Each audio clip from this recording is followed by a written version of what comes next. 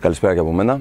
Ε, ξεκινήσαμε την προετοιμασία μας δύο μισή εβδομάδες πριν ε, και είμαστε σε ένα πολύ καλό σημείο αυτή τη στιγμή για να πούμε ότι θα πάμε με όλες μας τις ε, δυνάμεις ε, στο Μαυροβούνιο για να διεκδικήσουμε το καλύτερο δυνατό αποτέλεσμα.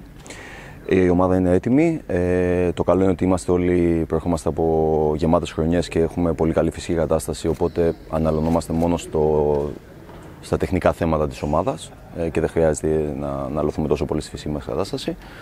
Ε, από εκεί και πέρα ξέρουμε ότι το πρωτάθλημα αυτό που θα πάμε να συμμετέχουμε είναι πολύ δυνατό Διαβάζοντας έτσι λίγο απ' έξω απ' έξω τα ρόστερ των ομάδων, ε, καταλαβαίνουμε και εμείς ότι δεν πάνε απλά για να παίξουν κάποια φιλικά παιχνίδια.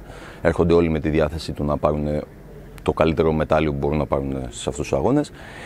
Ε, δεν θα μιλήσω ούτε για φαβορή ούτε για outsider. Εντάξει, το μοναδικό πράγμα που μπορώ να δώσω λίγο προβάδισμα ίσως είναι λίγο στο Μαυροβούνιο λόγω έδρας και αυτά, αλλά ε, δεν μπορούμε να πούμε ότι εμείς που έχουμε πάρα πολλές κατακτήσεις σε αυτό το τουρνουά ή η Ισλανδία με την ε, τελευταία της ε, εξαετία τουλάχιστον ε, ή ακόμα και το Λουξεμβούργο που μας κέρδισε πέρσι εδώ δεν είναι δυνατοί ή δεν μπορούν να κάνουν τη ζημιά. Από εκεί και πέρα θα πάμε και ένα-ένα τα παιχνίδια, επειδή είναι και ιδιαίτερο το πρωτάθλημα, όταν παίζεις ένα παιχνίδι την ημέρα σε λιγότερο από 24 ώρες, είναι άλλη, είναι άλλη ιδιαιτερότητα.